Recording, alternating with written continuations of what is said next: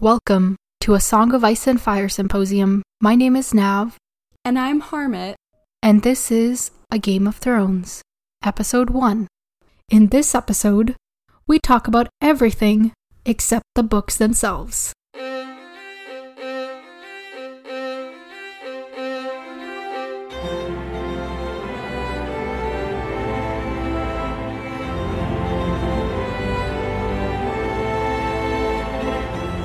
Welcome to the podcast, everyone. Thank you for tuning in. We are very excited to be starting this. Tell them how excited you are. Yay!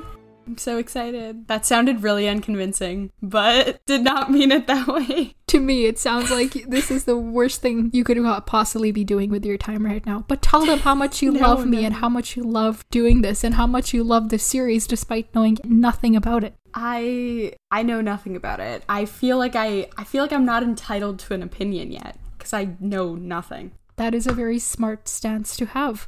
Okay. Uh, I have notes, but they are a mess, so we're just gonna wing this. First episode. Let's go, everybody. okay. Let's do Uh, it. we only get one go at this because after this episode, you will be spoiled on some things, so this is as pure as it's gonna get. Alright, so why don't you give us a quick synopsis of what you know about A Song of Ice and Fire or Game of Thrones? Okay. I think the biggest things I know are those names. I know that the first book of the five book series that is called A Song of Ice and Fire. So the first book is called you Game just found that out three minutes ago Yes. because you thought and the, I think that A Song of Ice and Fire was the name of the first book. Yes, which just goes to show you how unspoiled I am. I think half of the things that I know Nav has actually spoiled for me. So thanks for yeah, but I, I we Um, never thought that we would be doing this. Um, also, you had the book in your possession and you still didn't know which one was the title of the book. You okay? You know what she did when she gave me the book? She put sticky notes everywhere to prevent me from reading essentially everything. So I just didn't look at it because I was afraid to spoil myself. Uh, now you just need to do that for seven years. Perfect. If we do this once a week, it's supposed to be 6.597 years if we do it once every week. yes, love that. So yeah, you gotta stay like that for seven years. Um, hopefully we won't get bored and like stop doing this. but yeah, Yeah. what else do you know? Okay, so first of all, the things that Nav has spoiled for me. So I saw Okay, don't put it like that. I'm just I'm just categorizing them. I remember last time we were calling and there was a tab that said Iron Throne Ceremony. So I know that that exists. I have Okay, no you know what? idea what that is. it didn't actually say ceremony. Did I just assume ceremony? Yep. Wow. Okay, well, I spoiled myself for that one word. What does Iron Throne mean to you? The book is called The Game of Thrones. Yes, so Iron Throne, it's it's one of the thrones. It's throne to me means royalty. It could be like one of the families that are like royal. Okay. So there's a family throne?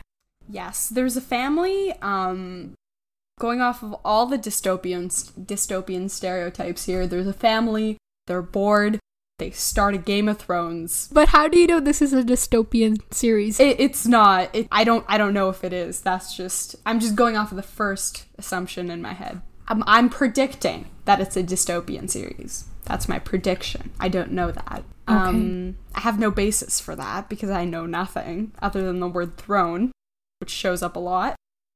Um, Ice and fire, you know those. Yes, yes, ice and fire, two element. Oh wait, no, ice is not an element. Um, Well, water is. yeah. A form of an element and then another Yeah. element. They don't seem very compatible, you know, those two things.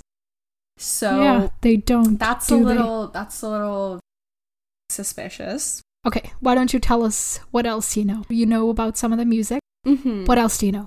I know that Sophie Turner plays a redhead. Yes, that's all I know. I know that she is in the show. Do you know if the show is live action or animation or some other form I'm of assuming it's live action, but I don't know Okay. that. All right. Do you know any other names or places or any quotes from the books? Nope, I know nothing. The last thing that I know is that I have heard from one person who spoke about it as though it was a common belief that the, apparently the, the TV series went downhill after season 5 or 6 or something like that after someone goes to an island. That's all I know. Okay. Do you know how many seasons there are in the show? No, but I know that it's over now. Yeah, it, it's it's a thing. Uh, Maybe you should be a little more enthusiastic. well, if yeah, okay. Moving on. Do you know what genre this series is? I don't know. You guessed dystopian something. Dystopian horror? Oh, I like that. I like the idea of that. Anything else to add? I think we've covered the main points, but is there anything else somebody should know?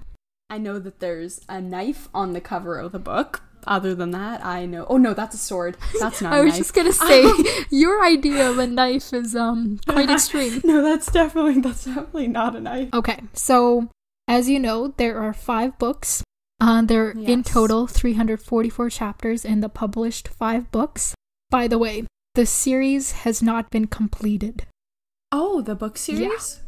So the show's finished, but the book hasn't finished. Yes. The books have not finished. Yet the books are the original. Yes.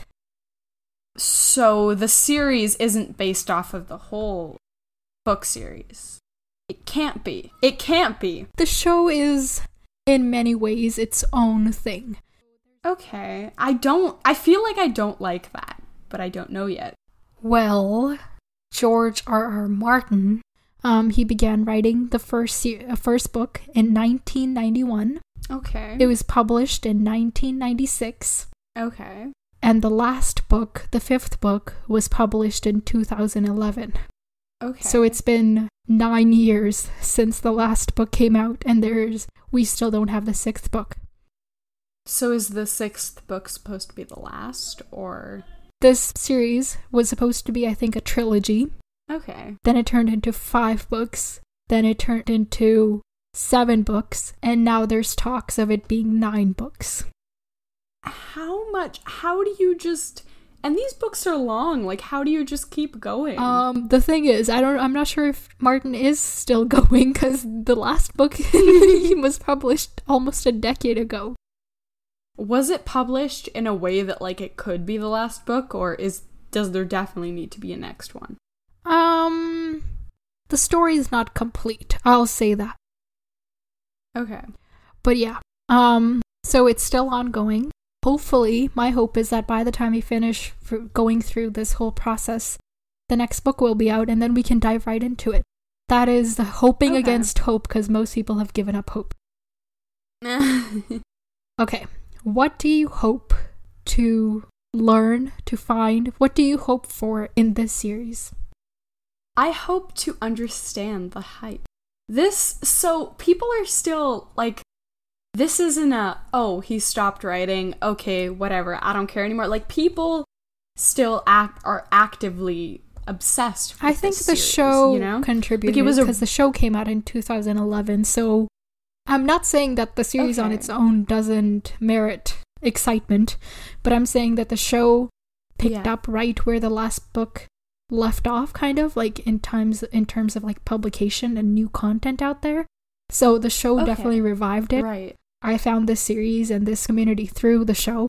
In fact, I just realized I should tell people what I know and what I don't know.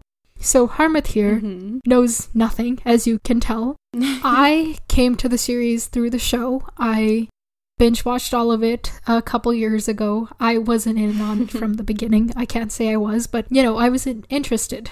So I came to the series through the TV show, but I haven't actually read the books either. I have, however, listened to every podcast out there. I have read all the chapter summaries. I have watched theory videos. I have read other little novellas. So you've never read any of the books? Um, I started the first one, but it was honestly for me, if I'm spoiled on something, it's really hard for me to be interested enough to keep reading. It's just really hard. So part of the reason why I'm doing this is as motivation to push me to read the actual series. but I am spoiled on everything. I'm sure there's like some tiny details that nobody ever covered in their coverage of the series, but on the big plot points and like a lot of the minor things, even, I am spoiled. Uh, but I haven't read the books themselves, so I'm interested to see what Martin's like style of writing and everything is like. I started the first book and I got to like chapter two, and at that point I gave very up. far. It is really not, uh, which is why we're doing this. We are committing, okay? So, what we're going to be doing is reading the entire book series one chapter at a time. Next episode is going to be the prologue.